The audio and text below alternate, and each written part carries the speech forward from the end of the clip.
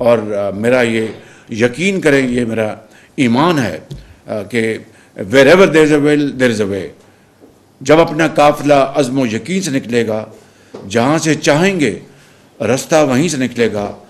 वतन की मट्टी मुझे एड़ियाँ रगड़ने दे। मुझे यकीन है चश्मा यहीं से निकलेगा। मैं इसको as an article of faith समझता हूँ। आप फर्टिलाइज़र को अच्छी क्वालिटी का देंगे किसान को तो आपकी ज़रात तरक्की करेगी। इसी तरीके से आप नौजवान नस्ल को अगर उनको ट्रेन नहीं करेंगे, उनको उनको स्किल्स मुहैया नहीं करेंगे वोकेशनल ट्रेनिंग नहीं देंगे तो फिर आईटी को हम 25 बिलियन छोड़ के 100 बिलियन का भी ख्वाब देख सकते हैं। वो क्यामत तक अधूरा रहेगा। तो उनकी ट्रेनिंग के लिए, उनकी उनकी एजुकेशन के लिए हमें उसमें बहुत तेज़ी के साथ आगे बढ़ना है।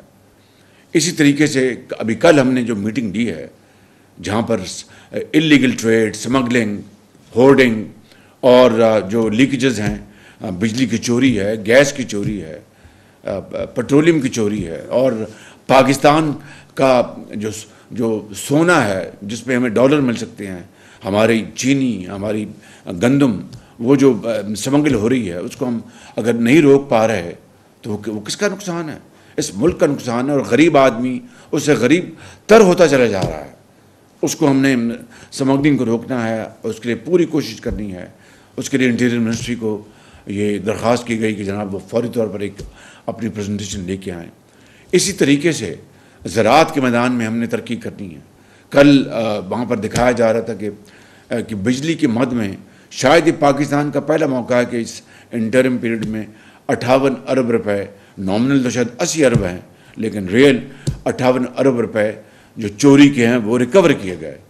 तो ये एक मिसाल है कि अगर wherever there is a will there is a way तो अगर एक यानी जो इलेक्टेड गवर्नमेंट नहीं थी it was a interim government उनको अगर ये हौसला हुआ, हिम्मत मिली और उनको हिम्मत दिलवाई भी गई, इदारों ने, इदारों के सरबराहान ने बहुत सपोर्ट दी उनको, और ये होर्डिंग अपने इसमें सामग्री में भी कमी आई, और बिजली की चोरी भी रिकवर होनी शुरू हो गई।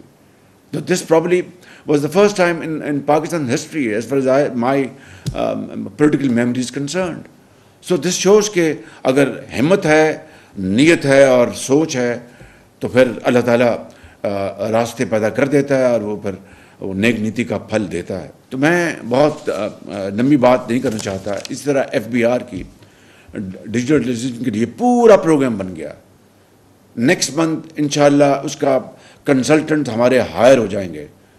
और डिजिटलाइज करने के लिए पूरी तरह हम इसके ऊपर कमिटेड हैं इनशाला और middle of April will be awarded the contract will be awarded उसमें वक्त लगना है। अब न ज़ाहिर है, रातों रात तो नहीं होगा।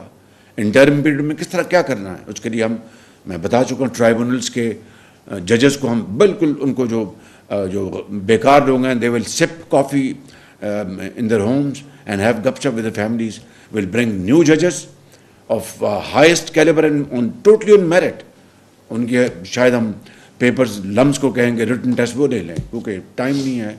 अगर हम जाएँगे पब्लिक सर्विस कमीशन के पास तो उनका आगे क्यों बहुत लंबी है?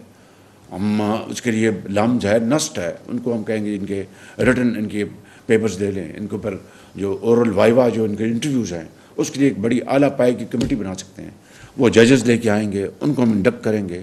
700 अरब अगर उनके पास है लिटिगेशन में 700 अरब ना